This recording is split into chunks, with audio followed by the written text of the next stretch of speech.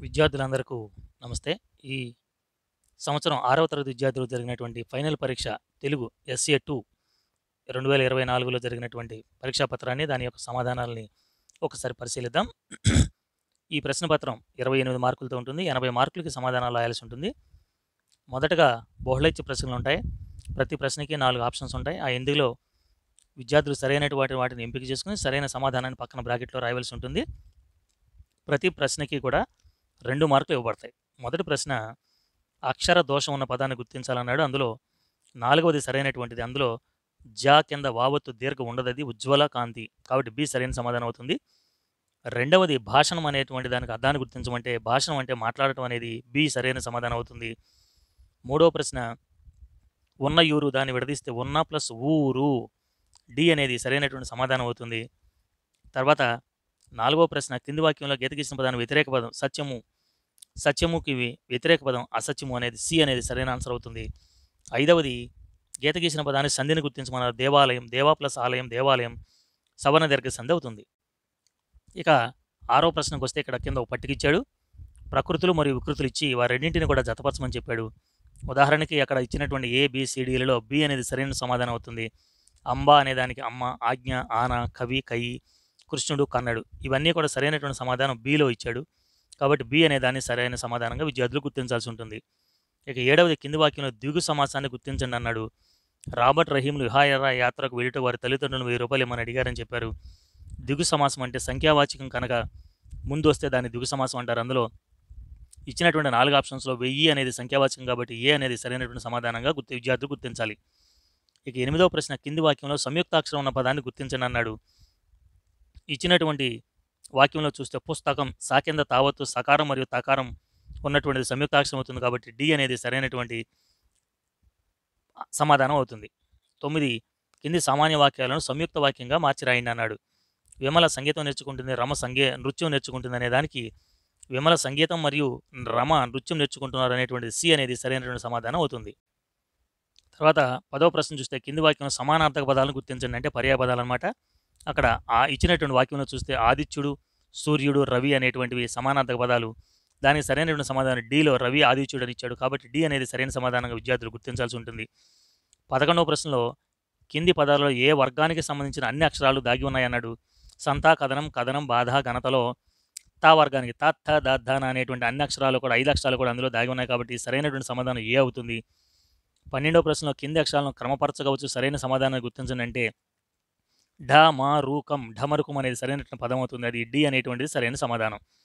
పదమూడవ వాక్యంలో నిషేధార్థక వాక్యాన్ని గుర్తించండి అంటే వద్దు అనేటువంటి చెప్పేదే నిషేధార్థక వాక్యం. ఇందులో వర్షంలో తడవకండి అని నిషేధించేటువంటిది నిషేధార్థక వాక్యం అవుతుంది. ఇక పద్నాలుగో ప్రశ్న కింది సంశిష్ట వాక్యానికి సామాన్య వాక్యాలను గుర్తించండి అన్నాడు. దానికి సరైన సమాధానంగా సి అనేది మహతి ఆటల పోటీలో పాల్గొంది మహ మ- మహతి బహుమతి గెలుచుకుంది. సి అనేది సరైన సమాధానం అవుతుంది. తర్వాత ప్రశ్నలో భాగంగా ఒక కథ ఇచ్చాడు. ఆ కథను విద్యార్థులు చదివి కింద ఇవ్వబడినటువంటి ప్రశ్నలకి జవాబులు రాయవలసి ఉంటుంది. ఓ పిల్లవాడు పాడుబడిన బావిగట్టు మీద కూర్చొని దగ్గరగా ఏడుస్తున్నాడని దారి పొడిన పోతున్న దొంగ గమనించాడని పిల్లవాడు వద్ద వద్ద వచ్చి ఎందుకు ఏడుస్తున్నావు అని అడిగాడని. ఆ పిల్లవాడు ఏడుస్తూనే బావిలో బంతి పడింది. కాబట్టి బంతి చూడటం కోసం బావిలో తొంగి చూడగా మెడలో బంగారు గొలుసు జారి పడిపోయిందని గొలుసులో కొన్న ఇంటికి వెళ్తే అమ్మా నాన్న కొడతారని అన్నాడు అన్నాడు. దాంతో బంగారు గొలుసును కాజేయాలన్నటువంటి దురాశ దొంగ కలగడంతో బావిలో దూకి గొలుసు తెస్తానని చెప్పడం బట్టలు జాగ్రత్తగా చూడని చెప్పి బావిలోకి దిగడం బంతిని బయటికి తీయడం ఆ బంతి తీసుకుని బాలుడు వెళ్ళిపోవడంతో బయటికి వచ్చి చూస్తే పిల్లవాడు లేకపోవడం పిల్లవాడు తన బంతిని తీసుకెళ్ళిపోయాడని చెప్పి కథ ముగించడం జరిగింది.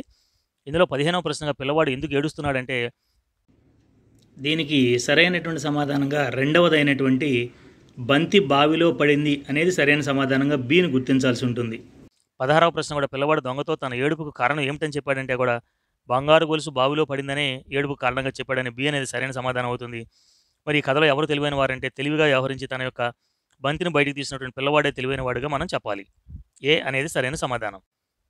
ఇక పద్దెనిమిదో ప్రశ్న దొంగ బావిలో దిగడానికి కారణం ఏంటంటే దొంగ కేవలం బంగారు గొలుసు కాజేయడం కోసం మాత్రమే బావిలో దిగాడు కాబట్టి అది బి అనేది సరైన సమాధానం అవుతుంది.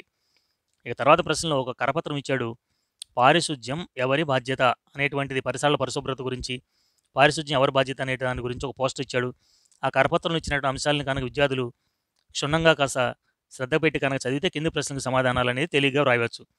పంతొమ్మిదవ ప్రశ్న పై పోస్టర్ దేని గురించి తెలియజేస్తుంది? అది పరిసరాల పరిశుభ్రత గురించి తెలియజేస్తుంది. సి అనేది సరైన సమాధానం అవుతుంది. ఇరవయో ప్రశ్న పరిసరాలను పరిశుభ్రంగా ఉంచడం ఎవరి బాధ్యత? అది అందరి బాధ్యత అనేది డి అనేది సరైన సమాధానం అవుతుంది. తర్వాత ఇరవై ఒకటవ ప్రశ్నకు వస్తే కింది ప్రశ్నలకు సమాధానాలు ఆయన అన్నాడు ఇక్కడ జతపరచడం ఇచ్చాడు ఇరవై ఒకటిలో. పరుషాలు అంతస్తాలు ఊష్మాలు సరళాలు పక్కన సర సంబంధిత నుండి అక్షరాలు ఇచ్చాడు. వాటన్నిటిని కనుక సరిగ్గా మనం సరైనటువంటి విధంగా మనం కనుక జతపరిస్తే ఒకటి పరుషాలు అనేది ఖచ్చితపలని అంతస్తాలు అనేది. ఇక ఇరవై ఐదవ ప్రశ్నలో ఒక కథకు సంబంధించిన వాక్యాలు ఇచ్చి ఆ కథని ఆ ఇచ్చినటువంటి వాక్యాలన్నీ కూడా తారుమారుగా ఇవ్వబడ్డాయి వాటిని సరిచేసిస్తే సరైనటువంటి అర్థవంతమైనటువంటి కథ తయారవుతుంది. ఎనిమిది వాక్యాలు ఇచ్చాడు. ఆ ఎనిమిది వాక్యాల్లో కనుక మనం సరైనటువంటి వరుసలో కనుక పెడితే మొదటి వాక్యం కింద కుక్కకి మాంసం ముక్క దొరికిందని రెండవ తర్వాత కుక్క మాంసం ముక్క నోట్లో పెట్టుకుని నడవసాగిందని తర్వాత ఏడవది దారిలో ఒక నది కనిపించిందని కుక్కకు నది నీటిలో తన ప్రతిబింబం కనిపించిందని తర్వాత ప్రతిబింబం చూసి వేరే కుక్కని భ్రమపడిందని తర్వాత నీటిలో ఉన్న కుక్క వైపు చూసి గట్టిగా మురిగిందని నోరు తెరిచిన వెంటనే నోట్లో మాంసం ముక్క నీటి పాలైందని అప్పుడు కుక్క నిజంగా గ్రహించి బాధపడిందని చెప్పి ఎనిమిది వాక్యాలను సరైనటువంటి అర్థవంతమైనటువంటి క్రమంలో కనుక సరిచేస్తే పూర్తి మార్కులు విద్యార్థులు పొందవచ్చు. తర్వాత ఇరవై ఆరవ ప్రశ్న ఒక కింద ఒక పద్యం ఇచ్చి దాని సొంత మాటలో రాయమన్నాడు. రోషావేశము జనులకు దోషము తలపోయి విపుల దుఃఖకరమునవు రోషము విడిచిన ఏడ సంతోషింతురు బుధులు హితముతో ఉపకుమార? కుమార శతకంలో నుంచి ఒక పద్యం ఇచ్చాడు. కోపము ఆవేశము మనుషులకు ఎక్కువ దుఃఖాన్ని కలిగిస్తాయి కాబట్టి వాటిని తొలగించుటే మంచిదని చెప్పి ఆ విధంగా చేసుకుంటేనే పండితులు మెచ్చుకుంటారు సంతోషిస్తారని చెప్పి కూడా ఇందులో భావాన్ని విద్యార్థులు సొంత మాటల్లో రాయవలసి ఉంటుంది. ఇక తర్వాత ఇరవై ఏడో ప్రశ్న ఎనిమిది మార్కులు ప్రశ్నలు అనమాట ఇవి. ఎంత మంచివారవం మంచివారవమ్మ అనేటువంటి పాఠంలో యానాదుల గురించి తెలుసుకున్నాం. వారిని చూసి ఎందుకు గర్వపడాలో సొంత మాటల్లో రాయమని చెప్పాడు. లేదా ఆంధ్ర రాష్ట్ర అవతరణలో పొట్టి శ్రీరాములు గారి త్యాగం గురించి మీ యొక్క సొంత మాటల్లో రాయమన్నాడు. వీటి యొక్క సమాధానాలు ఏ విధంగా రాయాలో చూద్దాం.